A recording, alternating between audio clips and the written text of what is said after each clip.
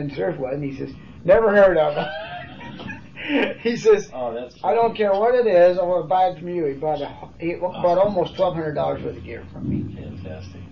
and so I learned. I learned long before that never to talk about the competition. You know, I privately amongst uh, friends or something, you know, I'll say something bad about Mel, and he's out of business now, so we can talk about him.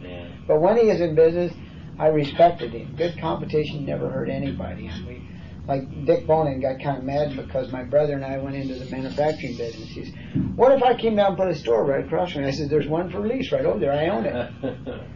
And uh, when Morgan got mad at me the other day, he says, "I'm going to go into the ski diving business, very the retail sales business, very big." And I says, "You know," I said, "Bev, is that a threat?" And he said, "No, I'm just going to do it." I said, "Well, fine, Morgan. I wish you a lot of success." I said, "If you want to get into this, the retail sales, I have a building across the street there, the fine Jib I'll rent you." You know, he was burned up, and I'm sure he's kind of forget about it. He's not that. I never had a real violent argument with Bev. I got along better with him than I did with my own brother. Because when there's a three-way partnership, you argue, Yeah. you, you know, the person's closest to it.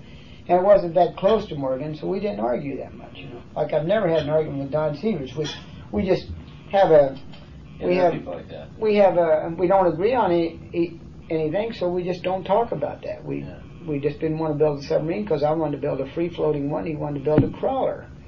And I didn't want anything to do with a crawler. Now he built a free-floating thing, so I had to buy back into the damn thing. Robert Marx.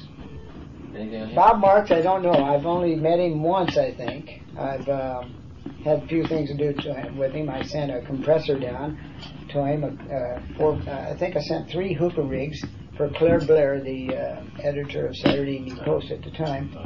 And a great friend of mine, Wally Bennett, who was with Time Magazine, went down. And he and Marx and Claire were the first ones to dive on some of those old galleons down there. And Marx always appreciated us sending him a gun. I was sending him a gun free of charge to try out. I was building a, I was manufacturing a spear gun at the time. Oh, yeah, what was that? Yeah, it was a, it was an all aluminum gun. We couldn't get Wally Potts to build anymore, so a guy named Dennis, Dennis Hard Dennis built it for us, and we built about 500 of them. And they were really good guns. They were all aluminum with stainless steel, uh, hard anodized aluminum with stainless steel triggers, and we were the first ones to come with that groove in there. And uh, Voit has their guns built like that. Super Pro has. We were the first ones to groove the actual barrel. And uh, So that one in the archives? uh, there's a stainless steel one around here someplace. How about Jordan Klein? Jordan Klein, I don't know know him at all. Will he be noted for anything? in- No, I don't think so. Dial, dial, two, two, one. Is that me? 221. Yeah, cut that. This is a continuation of uh, the interview with Bob Meistrell. And we are April 2nd, 1975. And we left off with Jordan Klein as one of the names to react to. Okay, well, where we um, we left off, you got a big rush on something. Looks like you got a big rush on today. Yeah, You're that's getting all all right. that. So I can, we ought to be able to do it in I know those hour, people. I was listening to those people, uh, and they wanted you. You know, they want Yeah. you to walk through and touch. Well, let them look a look at a few boats. Yeah, but they want you to go there and touch it with them. You know, I mean that's what they really want. They really want uh, to have that feeling they bought bought it from you. It's interesting. I I know we mentioned this that uh, when somebody comes down, I know in the early days, of course, they really want to talk to Bill. Yeah. The Meistrell brothers, the Meistrell brothers. Is this still pretty much? It's still that way. Billy gets an awful lot of calls up there. You know, he runs more or less the wholesale department, Yeah. And then we have now we have have the regulators and the valves and everything else. And uh, they call up and ask for him, but down here they call up and ask for myself or Richard Hernandez. And that little guy that's running that thing, they call up and ask for him. It's boats, motors, and skis and stuff. They He call him, one, stuff. especially skis. He knows Now, his Richard's the one that brought the people across the street. Yeah. hmm And you've had how long has he been with you? He's been with me for about six or seven years. So he's pretty well taken on some of the aura. Oh, yeah. so they. Yeah, you know, everybody's starting to take on the slack. They like a lot of people call them that. Want to talk to Jim, and now that we have uh, in-store instructors, you know, we have full-time instructors working in the stores. How long has that been? Uh, we've been trying that for three or four years, and this is the first time that we've had. Uh, uh, well, no, we've had them for three or four years, but this is the first time that we just had uh, have cut out all outside instruction. Don Morrison and Herb don't teach for me anymore, and they're a little bit puckered about it, but they just don't sell the gear. And I think that selling the gear is one of the most important things in diving. That's why we have the No, ninety no, wait a minute now. You said safety first and then. Safe, but I mean, okay. all right. Well, yeah, but after safety, I mean, you know, the county never liked for you to sell any gear, recommend any equipment or anything. But the 90% dropout in, in diving is because the people didn't buy any equipment to begin with. Hmm. Consequently, they didn't go diving very often. And when they have to rent and borrow and and uh, and uh, use all kinds of used equipment, then they're never familiar with that equipment. This way, if a guy starts buying his equipment the minute he gets into the class, and goes all the way through the class, by the time he gets to the ocean ocean trip, he knows his equipment real well, and he gets a chance to use all the different types of equipment in the pool. Yeah, you I back there and it's his instructor he's talking to. Yeah, I don't think I don't think he can. Uh, you can do that with a private instructor because they don't know that much about equipment. And I'm I'm really amazed at how much the private instructor knows about equipment when he comes out of the, co- the school up there at the LA County. You know. This has been the, one of the big weaknesses then. I think so. Certification instructors, they really don't know equipment like that. We should. keep up on the equipment, and sure, you're going to have shops that sell nothing but a bunch of slot gear because that's where the profit is. But uh, on a legitimate dive shop that wants to get that customer to come back and use use you as uh, use your shop word of mouth and encourage other people to come down, you've got to give him good equipment. And uh, you know you you won't s- you won't be selling the stuff that you make the most profit on because it's a bunch of junk. Now the fellows you, are these the same fellows So you've had now for? No, these uh, I got two newer guys now. Uh, the other guys, uh, Harvey, used to be in charge, he's quitting, going back and work for his dad. And then Rob Ferrer was the same guy. His dad owns a multi-million dollar operation. He got retired working for him.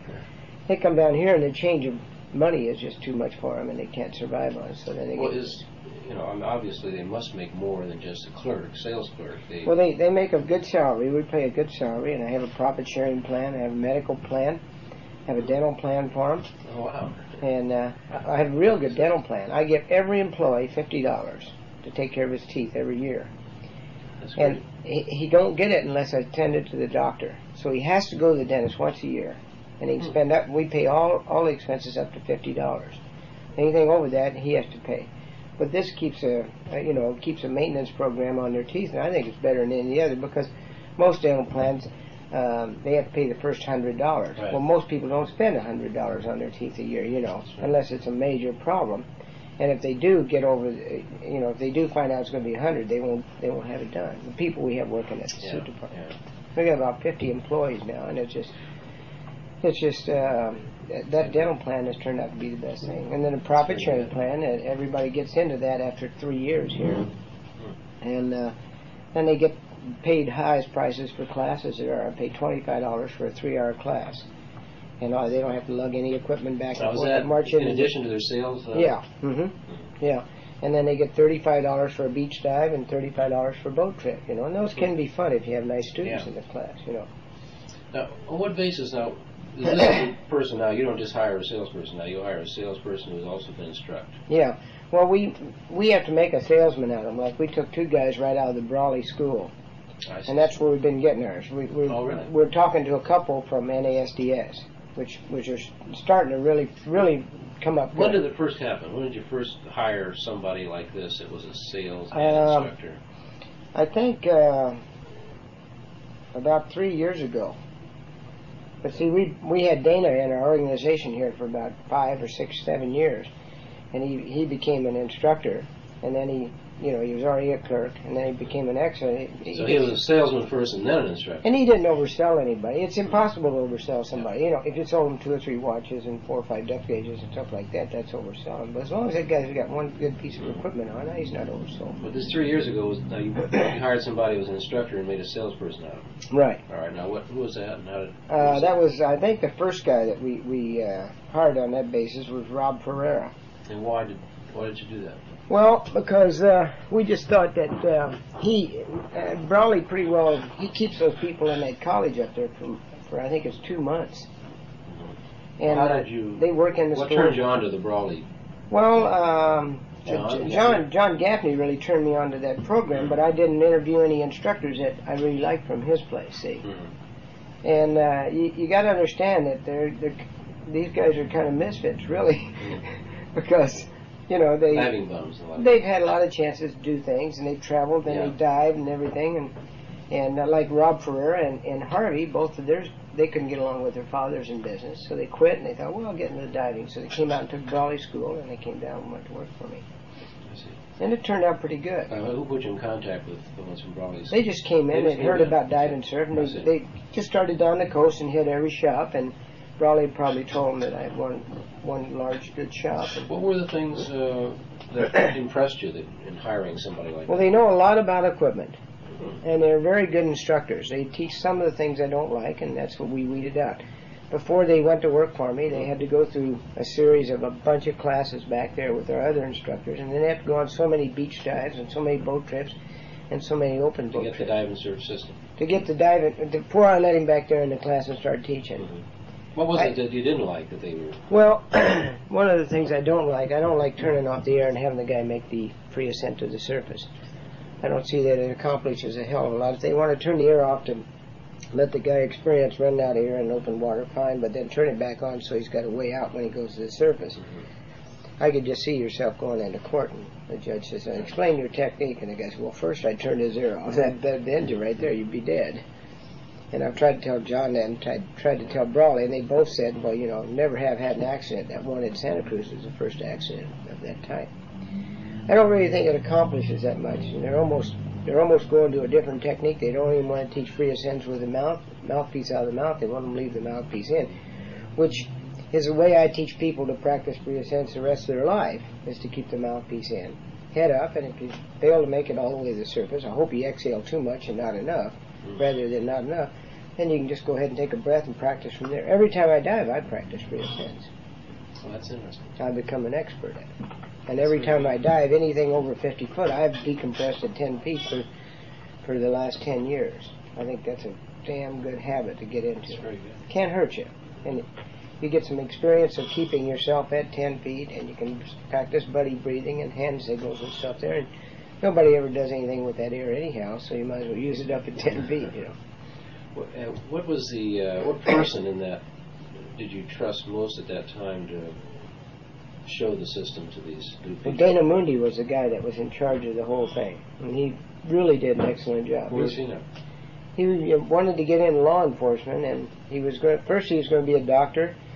Then he was going to be um, an engineer, and he's a very intelligent, smart guy. And then he wanted to get into law enforcement. He works for the Hermosa Beach Police Department you- Is he still involved in diving? No, not at all. No. He has a boat, and he still- dives, but he doesn't instruct. He got out of it. But he was one of the outstanding instructors. Yeah, that you he was an outstanding guy. Very good worker. Very efficient.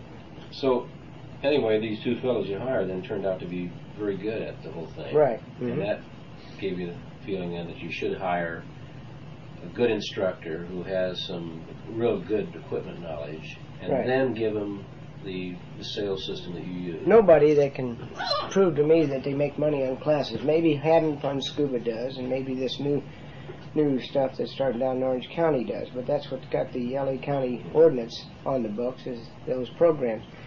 Nobody can sit down and say, "Hey, we made money on classes." I can show you in our financial statement we lost twelve thousand dollars in three months on classes and boat charters. And the only reason why I have a charter boat is to take my classes to Catalina. And you'd think on the open water boat trips you'd make some money, but it's just fuel and insurance and labor and cost and maintenance and So everything. it has to be on sales. So it's just a total waste of money to have a class and to uh, have a boat. So they're really loss leaders for you. Yeah, they're, they're, they've always been. Over the years, they just lost constantly. It's one of the things that never got out of the red. And uh, because you maintain a, a quality control. If you didn't do that, you might be able to stop it and make Well, if you would, uh, like we went up to, to seventy-five dollars on our classes, but we teach eight lessons in the pool now. We teach a beach dive with skin diving gear. We teach a beach dive with scuba gear, and we teach two ocean boat trips, all-day boat trips to Catalina with scuba. And that's just not dump the guy in the water like the old days and then let him go for the rest of the day. He has exercises he goes through for two complete dives. And if he feels like making a third dive, he can. The boat trips alone cost me thirty thirty-four dollars. So you're teaching the class for pennies, you know. You're just piano lessons or more. Is the worst loss on the class itself or on the boat trip? Probably on the class itself because of the pool maintenance and the high insurance and the, the you know, you can you you've heard of guys working for two dollars and fifty cents an hour and all the free air they can get. Mhm. Well, I just won't I won't get into that thing. I pay a guy a decent wage. The way to